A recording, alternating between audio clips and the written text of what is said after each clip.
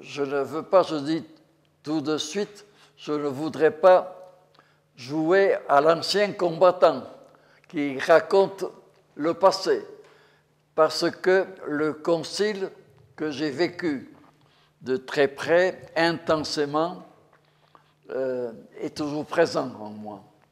Alors, quand j'ai préparé un peu, d'abord, j'étais à l'époque secrétaire des évêques français.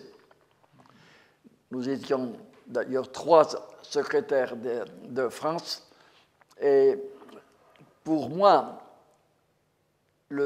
j'allais dire, avoir vécu, comme vous le dites, avoir vécu le concile a été une grâce extraordinaire, spirituelle, mais aussi humaine, pour les contacts que j'ai eus, parce que les évêques ne sont pas simplement des spirituels, ils sont aussi des humains en tant que pasteurs d'un peuple. Et alors, je me suis d'autant plus, je dis, intégré et dans l'Église, mon Église, mais aussi l'Église écuménique, il ne faut pas l'oublier, pendant le Concile.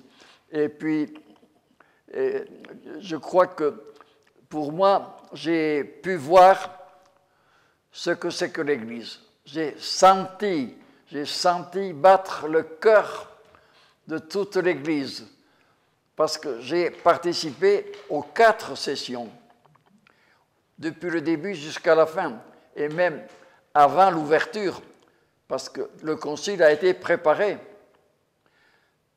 sérieusement un peu partout, mais c'était pour tous, tous les évêques, c'était une, une nouveauté.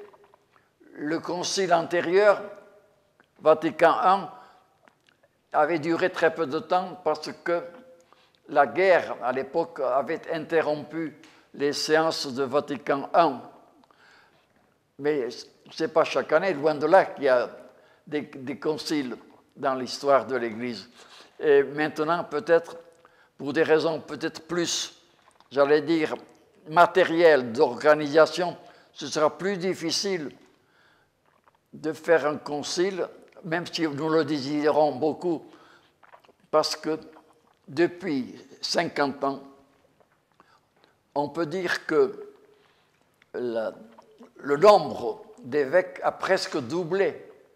Et déjà, avoir organisé, il y a 50 ans, avoir organisé le concile a été un exploit.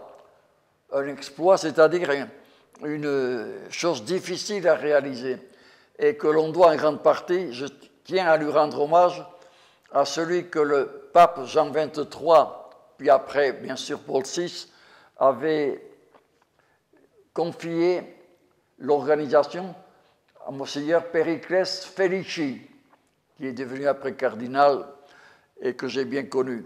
Parce que j'ai été, et ce fut pour moi une grande grâce, j'ai été chargé par les évêques français pendant tout le concile d'assurer le maximum de relations entre évêques pour se connaître parce que on ne réalise pas maintenant ce que c'était qu'un concile où les évêques venus du monde entier ne se connaissaient pas, ne se voyaient même pas. Maintenant, c'est classique, c'est courant que les évêques se retrouvent à tous les niveaux. Mais à l'époque, c'était euh, exceptionnel.